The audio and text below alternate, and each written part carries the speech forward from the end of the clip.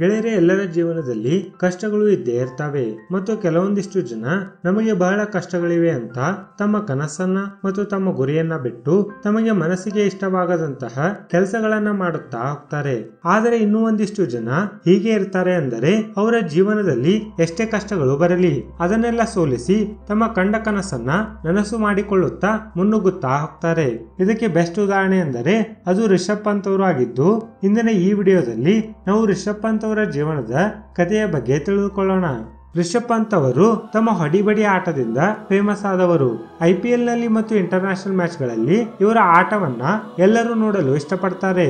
I P L ನಿಂದಲೇ famous ಆದ ರಿಷಬ್ ಪಂತ್ ಅವರ ಜನ್ಮವು ನಾಲ್ಕನೇ ಅಕ್ಟೋಬರ್ ಸಾವಿರದ ಒಂಬೈನೂರ ತೊಂಬತ್ತೇಳರಂದು ಉತ್ತರಾಖಂಡ ರಾಜ್ಯದ ಹರಿದ್ವಾರ್ ಎಂಬ ಊರಲ್ಲಿ ಆಗುತ್ತೆ. ಇವರ ತಂದೆಯ ಹೆಸರು ರಾಜೇಂದ್ರ ಆಗಿದೆ ಮತ್ತು ತಾಯಿಯ ಹೆಸರು ಸರೋಜಾ ಆಗಿದೆ. ಇವರಿಗೆ ಒಬ್ಬಳು ಅಕ್ಕ ಸಹ ಇದ್ದಾಳೆ. ಅವಳ ಹೆಸರು ಸಾಕ್ಷಿ ಪಂತ್ ಆಗಿದೆ. ಇನ್ನು ರಿಷಬ್ ಪಂತರಿಗೆ ಒಬ್ಬಳು ಗರ್ಲ್ ಫ್ರೆಂಡ್ ಸಹ ಇದ್ದಾಳೆ ಮತ್ತು ಆಕೆಯ ಹೆಸರು ಇಶಾನೆ ಗಿ ಆಗಿದೆ ರಿಷಬ್ ಪಂತ್ ಅವರು ಸಣ್ಣವರಿದ್ದಾಗ ತುಂಬಾನೇ ಸೂಕ್ಷ್ಮ ಸ್ವಭಾವದ ವ್ಯಕ್ತಿಯಾಗಿರ್ತಾರೆ ಮತ್ತು ರಿಷಬ್ ಪಂತರಿಗೆ ಸಣ್ಣವರಿದ್ದಾಗ ಅವರಿಗೆ ಕ್ರಿಕೆಟ್ ಅಂದರೆ ಇಷ್ಟು ಪಂಚಪ್ರಾಣವಾಗಿರುತ್ತೆ ಅಂದರೆ ಅವರು ಕ್ರಿಕೆಟ್ ಆಡಲಿಕ್ಕೆ ಒಂದು ಬೆಳಿಗ್ಗೆ ಹೋದರೆ ಸಾಕು.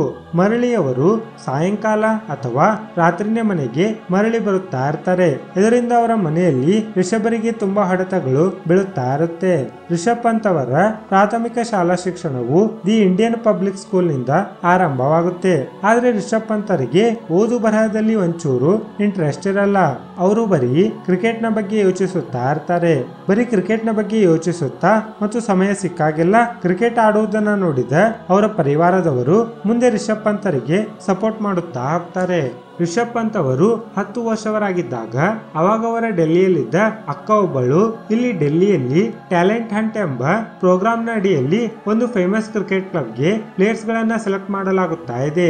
ನೀನು ಅದರಲ್ಲಿ ಪಾರ್ಟಿಸಿಪೇಟ್ ಮಾಡು ಅಂತ ರಿಷಬರಿಗೆ ಹೇಳ್ತಾರೆ. ತಮ್ಮ ಅಕ್ಕನ ಮಾತನ್ನ ಕೇಳಿ ಅವರು ಇಲ್ಲಿ ಪಾರ್ಟಿಸಿಪೇಟ್ ಮಾಡಿ ತಮ್ಮ ಕ್ರಿಕೆಟ್ನ ಟ್ಯಾಲೆಂಟ್ನಿಂದ ಕಡೆಗೂ ಈ ಕ್ಲಬ್ಗೆ ಸೆಲೆಕ್ಟ್ ಆಗ್ತಾರೆ. ಇಲ್ಲಿನ ಸೆಲೆಕ್ಷನ್ ನಂತರ ಅವರು ಸಾನೆಟ್ ಕ್ರಿಕೆಟ್ ಕ್ಲಬ್ನ ಟೀಮ್ನ ಜೊತೆಗೆ ವಾರದಲ್ಲಿ ಎರಡು ರಿಷಬರಿಗೆ ತಮ್ಮ ಕ್ರಿಕೆಟ್ ಸ್ಕಿಲ್ಸ್ ಗಳನ್ನ ಇಂಪ್ರೂವ್ ಮಾಡಿಕೊಳ್ಳಲು ಟ್ರೈನಿಂಗ್ ಅನ್ನ ನೀಡಲಾಗುತ್ತಾ ಇರುತ್ತೆ. ಈ ಸಮಯವು ರಿಷಬರಿಗೆ ಬಹಳ ಕಠಿಣವಾದಂತಹ ಸಮಯವಾಗಿರುತ್ತೆ. ಏಕೆಂದರೆ ಬರೀ ಹತ್ತು ವರ್ಷದ ರಿಷಬ್ ಪಂತರು ಪ್ರತಿ ವೀಕೆಂಡ್ನಲ್ಲಿ ಟ್ರೈನ್ ಅನ್ನ ಹಿಡಿದು ಡೆಲ್ಲಿಗೆ ಬರುತ್ತಾ ಇರ್ತಾರೆ. ಮತ್ತು ಹಣದ ಸಮಸ್ಯೆಯಿಂದಾಗಿ ಅವರು ಅಲ್ಲೇ ಇದ್ದ ಒಂದು ಗುರುದ್ವಾರದಲ್ಲಿ ಸೇವೆ ಮಾಡಿ, ಅಲ್ಲೇ ಸಿಗುತ್ತಿದ್ದ ಊಟವನ್ನ ಮಾಡಿ ಮತ್ತು ಒಂದು ರಾತ್ರಿ ಅದೇ ಗುರುದ್ವಾರದಲ್ಲಿ ಮಲಗುತ್ತಾ ಇರ್ತಾರೆ. ಬಹಳಷ್ಟು ದಿನಗಳ ಕಾಲ ಹೀಗೆ ಮಾಡುತ್ತಾ ಇದ್ದ ರಿಷಬ್ ಪಂತರಿಗೆ ಒಂದು ದಿನ ಅವರ ಕೋಚ್ ರಿಷಬರಿಗೆ ನೀನು ರಾಜಸ್ಥಾನ್ಗೆ ಹೋಗಿ ಅಲ್ಲಿ ಕ್ರಿಕೆಟ್ ಅನ್ನ ಆಡು ಅಂತ ಹೇಳ್ತಾರೆ. ಅವರ ಕೋಚಿನ ಮಾತನ್ನ ಕೇಳಿ ರಿಷಬ್ ಪಂತ್ ಅವರು ರಾಜಸ್ಥಾನ್ಗೆ ಹೋಗ್ತಾರೆ. ಮತ್ತು ರಾಜಸ್ಥಾನನ ಅಂಡರ್ ಫೋರ್ಟೀನ್ ಮತ್ತು ಅಂಡರ್ ಸಿಕ್ಸ್ಟೀನ್ ಟೀಮ್ನಲ್ಲಿ ಸ್ಥಾನವನ್ನ ಪಡೆದು ತಮ್ಮ ಅದ್ಭುತವಾದ ಬ್ಯಾಟಿಂಗ್ನ ಪ್ರದರ್ಶನವನ್ನ ನೀಡುತ್ತಾ ಹೋಗ್ತಾರೆ. ಆದರೆ ಇವರು ರಾಜಸ್ಥಾನ್ ಟೀಮ್ನಲ್ಲಿದ್ದ ಬೇರೆ ರಾಜ್ಯದ ಪ್ಲೇಯರ್ ಆಗಿದ್ದ ಕಾರಣದಿಂದಾಗಿ ಇವರೊಂದಿಗೆ ಹಲವಾರು ಭೇದ ಭಾವಗಳನ್ನ ಮತ್ತು ಇವರನ್ನ ಕಾಡಿಸುವುದು, ಗೇಲಿ ಮಾಡುವುದನ್ನ ಮಾಡಲಿಕ್ಕೆ ಆ ರಾಜ್ಯದ ಪ್ಲೇಯರ್ಸ್ಗಳು ಪ್ರಾರಂಭಿಸ್ತಾರೆ. ಇವೆಲ್ಲ ಕಾರಣಗಳಿಂದಾಗಿ ಕಡೆಗೆ ರಿಷಬ್ ಪಂತ್ ಅವರು ರಾಜಸ್ಥಾನ್ ಟೀಮ್ ಬಿಟ್ಟು ಮರಳಿ ಡೆಲ್ಲಿಗೆ ಬರ್ತಾರೆ. ಮತ್ತು ಡೆಲ್ಲಿಯ ಟೀಮ್ನೊಂದಿಗೆ ಸೇರಿಕೊಂಡು ಹಲವಾರು ಏಜ್ ಗ್ರೂಪ್ನ ಟೀಮ್ಗಳೊಂದಿಗೆ ಸೇರಿ ಅದ್ಭುತವಾದ ಬ್ಯಾಟಿಂಗ್ ಮತ್ತು ವಿಕೆಟ್ ಕೀಪಿಂಗ್ ಅನ್ನ ಮಾಡುತ್ತಾ ಹಾಕ್ತಾರೆ ಇವರ ಈ ಪರ್ಫಾರ್ಮೆನ್ಸ್ ಗಳನ್ನ ನೋಡುತ್ತಾ ಎರಡ್ ಸಾವಿರದ ಹದಿನೈದರಲ್ಲಿ ರಿಷಬ್ ಪಂತರಿಗೆ ಡೆಲ್ಲಿಯ ರಣಜಿ ಟೀಮ್ಗೆ ಸೆಲೆಕ್ಟ್ ಮಾಡಲಾಗುತ್ತೆ ಮತ್ತು ಅದರೊಂದಿಗೆ ಅವರನ್ನ ಅಂಡರ್ ನೈನ್ಟೀನ್ ವರ್ಲ್ಡ್ ಕಪ್ಗೆ ಕೂಡ ಸೆಲೆಕ್ಟ್ ಮಾಡಲಾಗುತ್ತೆ. ಎರಡ್ ಸಾವಿರದ ಹದಿನಾರು, ಹದಿನೇಳರಲ್ಲಿ ನಡೆದ ರಣಜಿ ಟ್ರೋಫಿಯಲ್ಲಿ ರಿಷಬ್ ಪಂತ್ ಅವರು ಮಹಾರಾಷ್ಟ್ರದ ವಿರುದ್ಧ ಮುನ್ನೂರ ಎಂಟು ರನ್ಸ್ ಗಳನ್ನ ಬಾರಿಸ್ತಾರೆ ಮತ್ತು ಜಾರ್ಖಂಡ್ ತಂಡದ ವಿರುದ್ಧ ಅತಿ ವೇಗದ ಸೆಂಚುರಿಯನ್ನ ಬಾರಿಸಿ ಭಾರಿ ಹವಾ ಮಾಡ್ತಾರೆ.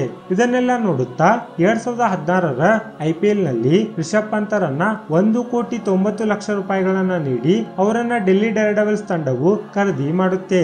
ಮತ್ತು ಅವರು ಐ ಪಿ ಎಲ್ನಲ್ಲಿ ಖರೀದಿ ಮಾಡಿದ ದಿನದಂದೇ ರಿಷಬ್ ಪಂತ್ ಅವರು ಅಂಡರ್ ನೈನ್ಟೀನ್ ವರ್ಲ್ಡ್ ಕಪ್ನಲ್ಲಿ ಆಡುತ್ತಾ ಇರ್ತಾರೆ. ಮತ್ತು ಅದೇ ದಿನ ಅವರು ಒಂದು ಶತಕವನ್ನ ಬಾರಿಸಿ ತಾವು ಐ ಪಿ ಎಲ್ ಆಡುವುದಕ್ಕೆ ಸಿದ್ಧರಾಗಿದ್ದಾರೆ ಅಂತ ತೋರಿಸಿ ಕೊಡ್ತಾರೆ. ಇನ್ನು ರಿಷಬ್ ಪಂತ್ ಅವರ ಐ ಪಿ ಎಲ್ನ ಕರಿಯರ್ ಬಗ್ಗೆ ಮಾತಾಡಿದರೆ ಎರಡ್ ಸಾವಿರದ ಹದಿನಾರರ ಐ ನಲ್ಲಿ ತಮ್ಮ ಮೂರನೇ ಮ್ಯಾಚ್ನಲ್ಲಿ ಬರೀ ಇಪ್ಪತ್ತೈದು ಬಾಲ್ಗಳಲ್ಲಿ ತಮ್ಮ ಅರ್ಧ ಶತಕವನ್ನ ಅವರು ಬಾರಿಸ್ತಾರೆ.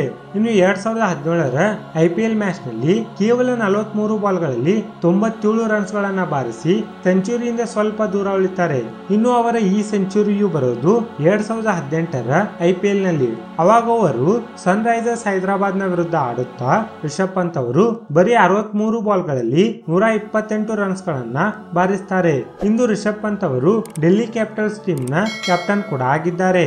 ಇನ್ನು ರಿಷಬ್ ಪಂತ್ ಅವರ ಇಂಟರ್ನ್ಯಾಷನಲ್ ಕರಿಯರ್ನ ಬಗ್ಗೆ ಮಾತಾಡಿದರೆ, ಎರಡ್ ಸಾವಿರದ ಹದಿನೇಳರ ಜನವರಿಯಲ್ಲಿ ಇಂಗ್ಲೆಂಡ್ನ ವಿರುದ್ಧ ಟಿ ಟ್ವೆಂಟಿ ಸರಣಿಯಲ್ಲಿ ರಿಷಬ್ ಪಂತರನ್ನ ಆಯ್ಕೆ ಮಾಡಲಾಗುತ್ತೆ. ಮತ್ತು ಅದೇ ಇಂಗ್ಲೆಂಡ್ ಟೀಮ್ನ ವಿರುದ್ಧ ಎರಡ್ ಸಾವಿರದ ಹದಿನೆಂಟರಲ್ಲಿ ಟೆಸ್ಟ್ ಟೀಮ್ಗೆ ಕೂಡ ರಿಷಬ್ ಪಂತರಿಗೆ ಆಯ್ಕೆ ಮಾಡಲಾಗುತ್ತೆ. ಇನ್ನು ಒಡಿಐ ಮ್ಯಾಚ್ನ ಡೆಬ್ಯೂ ಬಗ್ಗೆ ನೋಡಿದರೆ, ರಿಷಬ್ ಪಂತರು ತಮ್ಮ ಒಡಿಐ ಡೆಬ್ಯೂ ಮ್ಯಾಚ್ ಅನ್ನ ಅಕ್ಟೋಬರ್ ಇಪ್ಪತ್ತೊಂದು, ಎರಡ್ ಸಾವಿರದ ಹದಿನೆಂಟರಂದು ವೆಸ್ಟ್ ಇಂಡೀಸ್ ಟೀಮ್ನ ವಿರುದ್ಧ ಆಡ್ತಾರೆ.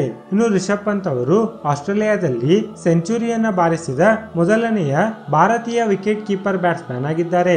ಇದಲ್ಲದೆ ಟೆಸ್ಟ್ ಕ್ರಿಕೆಟ್ನಲ್ಲಿ ಅತಿ ವೇಗವಾಗಿ ಒಂದು ಸಾವಿರ ರನ್ಸ್ ಗಳನ್ನ ಬಾರಿಸಿದ ವಿಕೆಟ್ ಕೀಪರ್ ಬ್ಯಾಟ್ಸ್ಮನ್ ಸಹ ರಿಷಬ್ ಪಂತ್ ಅವರು ಆಗಿದ್ದಾರೆ.